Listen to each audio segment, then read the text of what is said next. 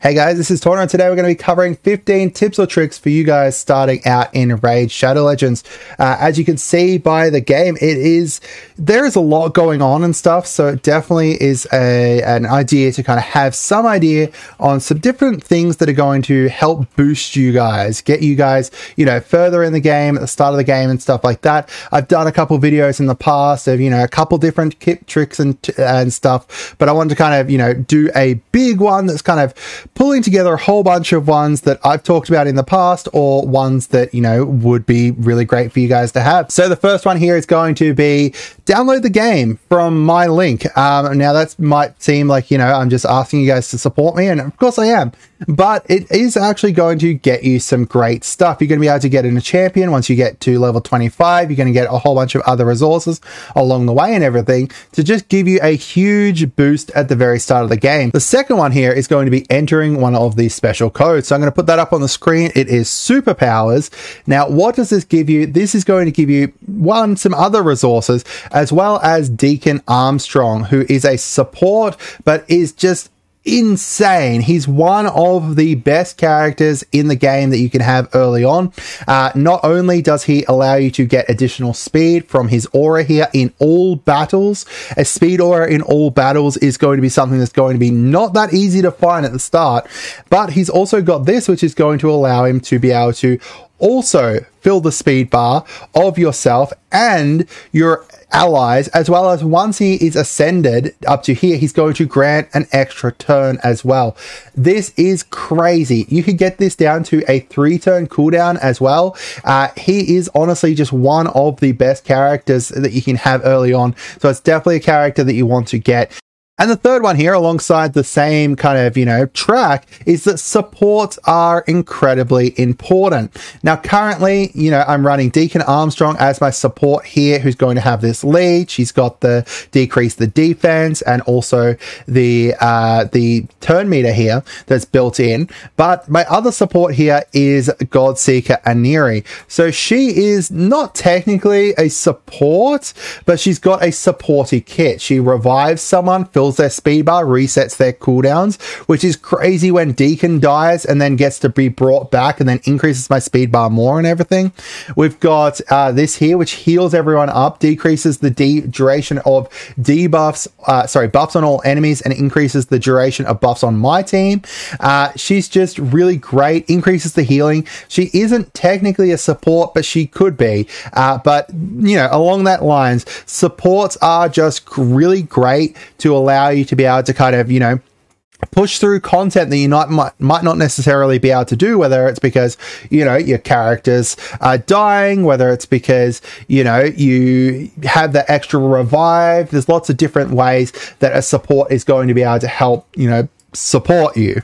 Number four here is going to be completing your dailies, weeklies, and monthlies. There is just a crazy amount of resources that you're going to be able to get from this and resources that you'll miss out on if you don't kind of complete these. They're relatively easy to do. You know, just make four upgrade attempts, increase a level by three, summon three champions, etc. Your weeklies are a little bit harder, but you know, going through them, you're going to get some great rewards, including, you know, a sacred, sh- uh, sorry, an ancient shard here.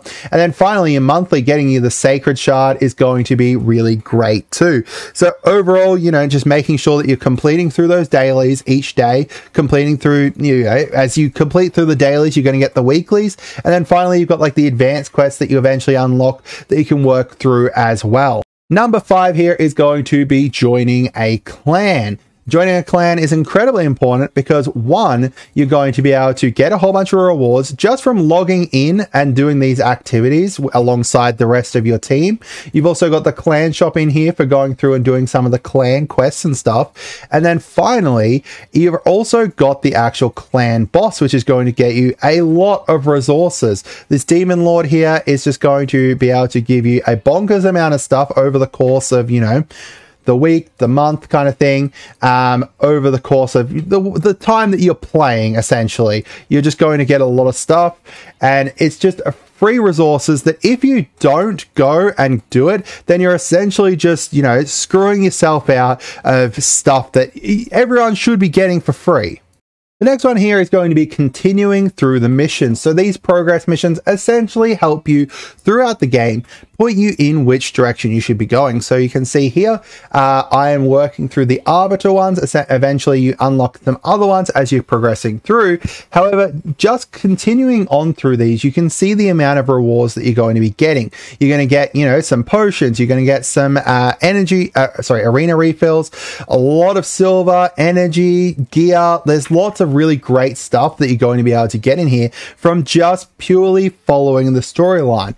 Even like getting the sacred shard here is going to be crazy. And then finally, at the very end, you're going to be able to get Arbiter here. You're going to get some other characters from the other ones, Ramantu and uh, Marius here. So it's really great to just you know, continue on through them, eventually get some great characters, and then along the way, just get a whole bunch of different resources for just doing things that, you know, are helping you progress through the game.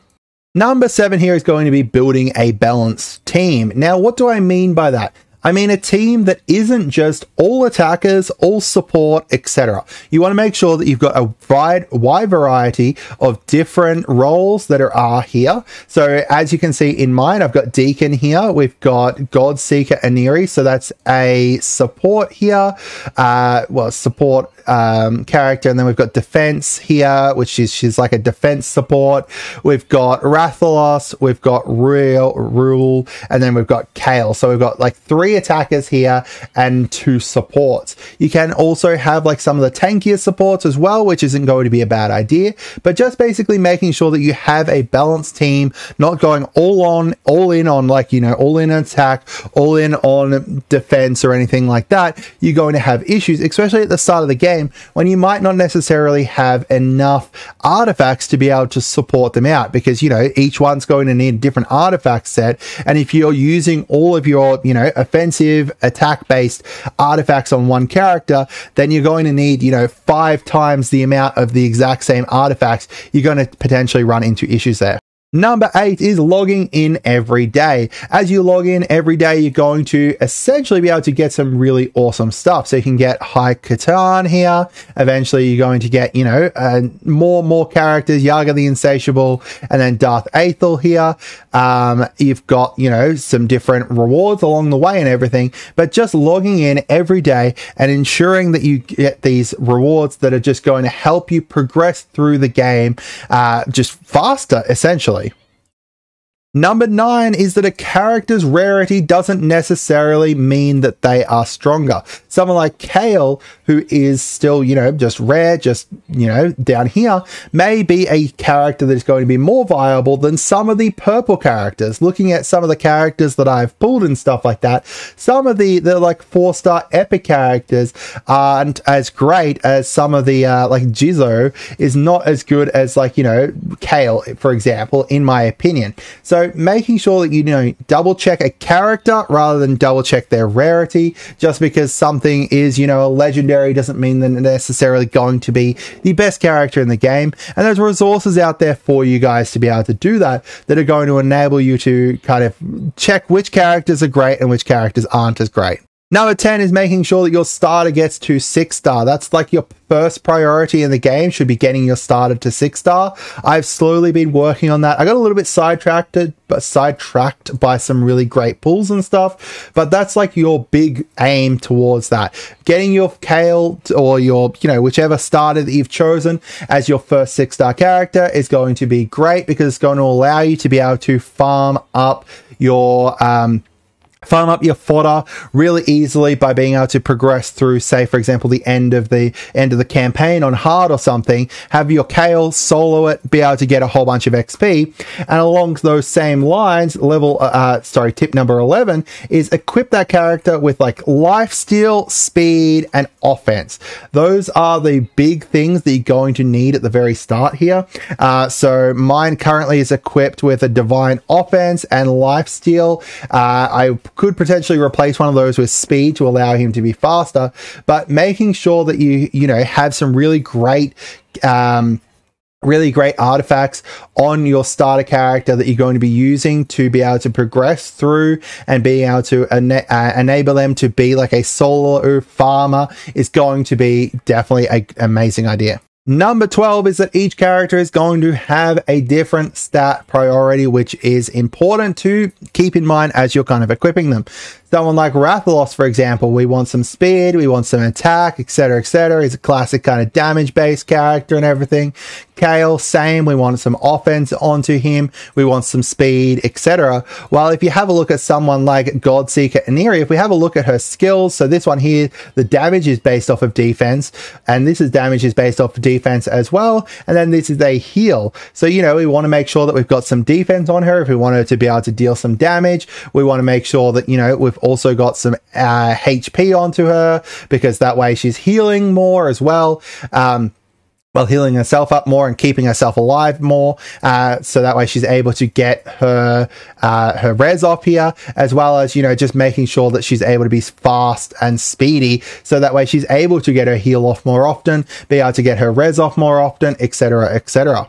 Number 13 is going to be making sure that you upgrade your artifacts. I don't know the amount of times that I've seen people or even myself chuck an artifact onto a character and then be like, okay, so this one needs this, for example. Oh, I obviously know that she doesn't.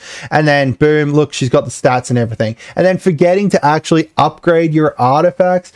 Artifact maintenance is going to be very, very important. It's going to make sure that, you know, you're getting the best stats on your characters, making sure that those stats are upgraded making sure that your characters are strong to be able to enable them to be able to progress through and everything. It's just going to make everything in the game easier if you actually keep in mind that your artifacts are important. Number 14 is that arena is very important. Arena, you want to make sure that you're doing your attacks constantly. If you miss your attacks, then essentially you're going to be screwing away resources that you could be using for other things. Whether that's going to be, let's have a look. So once we eventually, wow, okay. Look, look at this. So we're getting some uh, tournament points, which are important. Making sure that we're getting the bronze medals as well, so that way we can upgrade our stuff. Making sure that we're getting the uh, Magisteel here. So if we get like you know, if we go in, well, where is it? Up here into the Great Hall so we can upgrade our affinity bonuses and everything. Having that Magisteel over here for the, the forge and stuff to make sure that if we're forging stuff, then we've got that there as well. You know, there's just a lot of resources that you're going to essentially be screwing yourself out, out of if you don't progress through here. Um, like even have a look down here, you know, We've got, you know, ancient shards, gems. We can get some really great gear from here too. So making sure that you're just doing your arena attacks constantly, trying to progress, making sure that you also double check that your defense is set because, you know, the amount of times that someone's probably pulled something and then forget to change their defense despite the fact that they've retired that previous character in it is probably going to be way more than just 0%. And then finally, number 15 is speed is king. Having fast characters is incredibly important. You're going to be able to get speed gear onto your boots as a primary here, but having speed on here, so you can see, for example, here as a secondary stat on your gear is going to be important as well. Most characters will be wanting speed to make sure that they're going fast, to make sure that they're getting more damage in or getting more heals out or getting more, you know, buffs up or whatever you want. You want to make sure that, you know, you've got that fast gear and get your characters fast because they're going to need it, especially if you're doing arena and stuff like that. If you're coming up against someone that's got faster characters, then potentially you're going to end up screwing yourself over because your characters just aren't as fast. But that's it for today, guys. Those are my 15 tips for new players for Raid Shadow Legends. Make sure you head on down to the description, download the game, support the channel and everything like that. I hope you guys had a wonderful day and goodbye.